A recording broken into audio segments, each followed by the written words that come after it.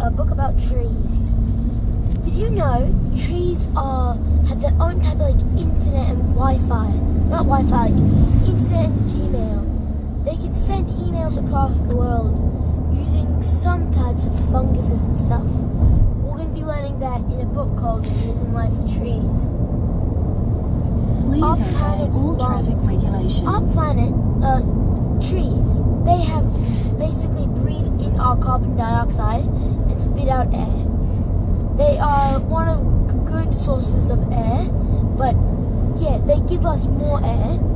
And also, if you know how cloud uh, water evaporates into clouds, then clouds rain back into rivers. Trees help bring the clouds closer in coast than outer coast by once the rain gets into the trees, they evaporate on the leaves.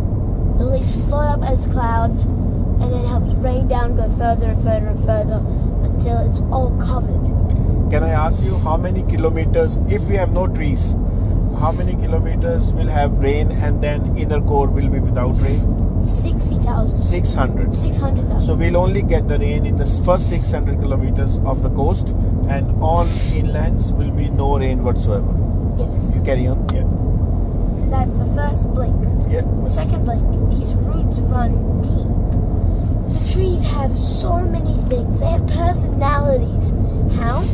Well, someone was walking around, found three uh, three trees, all connected down to the ground, have the exact same climate, sunlight, and water. And one of them shed earlier than the rest of the two. Oak trees. Oak trees, yeah. One shed earlier, Two months earlier. Two, two weeks earlier. no, two weeks earlier than the other ones because they have uh, they learned from experience that if they shed too late, it's bad for them. Why is it bad for them? Because if they shed too uh, late, they start making injuries in the trees, and Yeah, it's with the frostbite, Yeah. they can injure the. With the lightning, strong lightning stuff, they can Yeah. die in there. Got it, yeah. And they use fungus to connect to other trees As a form of, as a form of email. Oh, so good. This is 3. A high rate of uh, child mortality, young trees live dangerous lives. How dangerous? So only one of millions of trees will survive. Why? They'll either have too much soil, too much moisture, too less moisture, Not enough sunlight. not enough sunlight, uh, be or even if they're in a good position that they they have a perfect amount, but they will get other things like getting trampled on, getting uh, struck with lightning, or a lot of stuff makes not a lot of trees live a very long life. But when a tree is, uh, some trees have different preferences of where they want to be. Say like oak trees want to be next to each other. Uh, what was that one tree that wanted to be alone in meadows Um, called? popular. Poplar trees want to be uh, alone, but they will get uh, harsher weather. They're exposed to thunderstorms, rains, hard weather, and all that stuff. What is the normal age of the tree? A normal age of the tree is Hundreds of years. hundreds of years, yeah.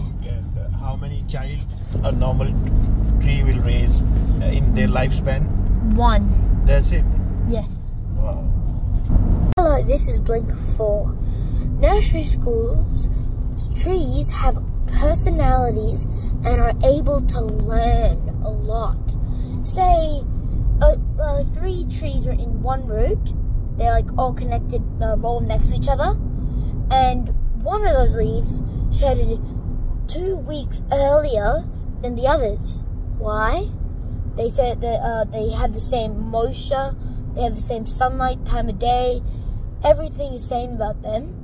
But one, they are carefuler. If they keep their leaves for longer, they can make more photosynthesis, uh, photosynthesis and gain more nutrients and store more. But if they keep onto the leaves for too long, they get hurt How? because Storms, uh, storms, lightning, yeah, lightning, their excess winter. this excess winter, their leaves being um, frozen, so much stuff. But how do they remember? people say at the really top of their roots, it tell not, not no, roofs, the tip Uh, of their leaves. yeah, tip of their leaves, it stores information. That information is really important for the tree to remember when to shed, how to shed. It's basically going for a poop. Link 4 Chatterbox. Trees can communicate. Did you know that? They use email, they use their scent. How do they use email and how do they use their scent? First, let's talk about scent. Scent, when, uh, say a caterpillar is munching on their leaves, they send a uh, another, more trees uh, send a scent that attract a wasp to lay eggs in the caterpillar for larvae or larvae to eat them up. Now, how do they use email? Email is a way of fungi.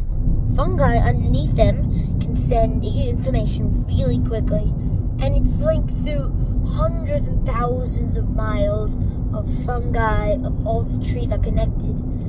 That's why when a tree is getting like attacked by an infestation, and uh, and it's like one of those trees in a lone meadow, a, a tree very far away can send an email that uh, that they can send a scent to a wasp to go attack the uh, infestation of caterpillars. This is how they use email. How they do with the giraffes? Giraffe. When a giraffe is eating one of those favorite type of leaves, what's their name? Uh, forgot. Yeah, the their favorite type of leaves. The tree sends a poisonous warning scent that will poison them if they keep eating. Giraffes know this game very well, so they just walk away and go to the next one, a couple thousand miles away, Not miles, in hundred miles. Couple hundred hundred meters away. a couple hundred meters away, Not. couple hundred meters away, Yeah. because they send a signal to every tree in a hundred meters because there's a giraffe attack happening. Next blink, lucky mushrooms. Mushroom, uh, what's it called? Mycelium is a connection through all the things like a tiny little thread type of all the trees. The fungus there, if there's not enough nitrogen in the ground, they kill all the uh, microorganisms and release On the all, top layer of the on the soil. top layer on the top layer of the soil. They kill them all and get all the uh, nitrogen stored inside of them to stay alive longer and Help the tree. help the tree. The tree gives it water. Uh, the, the fungus gives it water, and the tree gives it sugar. That's a great partnership, isn't it? Yes, So is that partnership always happen in all the trees? Is it good, bad? it's very good. It happens in mostly all the trees. Where the Um, fungus is? uh, with the with fungus, and yeah. Next blink, respect. Respect trees. Trees have so many different ways of living. Like the ecosystem. If uh, have you ever heard of the story of three trees? One tree fell down in the middle, but it's it stayed alive. For more than 400 years. yeah, more than 400 years. How? The tree was helped by its neighbors, giving it more and more nutrients, water, and it just helped live it, the tree, longer. If there was no, uh, uh, what's it called? Ecosystem. Ecosystem in the around us, all the trees would just die off. There, no trees will be alive again. So what about the new forest which they grow just for cutting down and making Yeah, furniture? they grow trees just to cut them down. Grow, cut, grow, cut. Soon we'll lose all the air we have in the world. No, what about the ecosystem you learned Yeah, about it? the ecosystem will collapse because every time they grow it, it's gone immediately. Grow, gone. Grow, No. gone. I'm asking you what is the minimum age which a tree or ecosystem need to develop? A hundred years.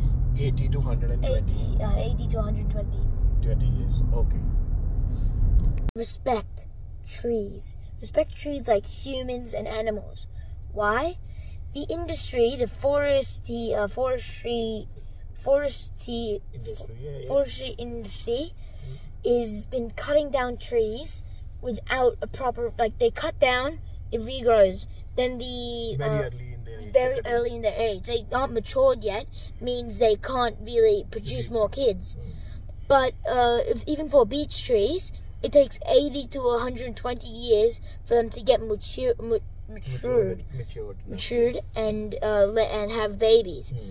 But uh, for forest trees, it's only hundred years old. Until they get matured and lay uh, babies. But still, they have to wait like a hundred years or stop uh, growing and then cutting down and make a proper way. So So what was the misconception? Uh, like they were thinking that younger trees will grow more faster, or the- yeah, they were thinking younger trees grow faster. So that's why they keep cutting the Yeah, younger trees. they keep cutting them down and that's down, uh, down. that's that's a myth. That's not a not a true thing. The older trees grow faster, is it? yes. And what will happen to the ecosystem if we keep cutting? If there is not too many trees, like different, not too many varieties of the trees, we have just one variety in the whole whole jungle. We just lived it up for like four. It five will uh, always be like the um, Ecosystem. Yeah. will the ecosystem? the Will be ecosystem will lowering down Hmm. because we're cutting down the trees. And if there's like the beech trees, 180 to 150, Hmm. it will take too long, and we'll keep cutting them down, lowering our trees forever. Good. Final summary: Trees are unval- uh, unvalued organisms. Undervalued. undervalued organisms. They can do so much more than often realized. They, c- they can communicate and help each other out. They uh, they have senses and are designed to fit well into their place, in, uh, into their ecosystems. We should all respect trees and care about their welfare just as we do to animals. Thank you.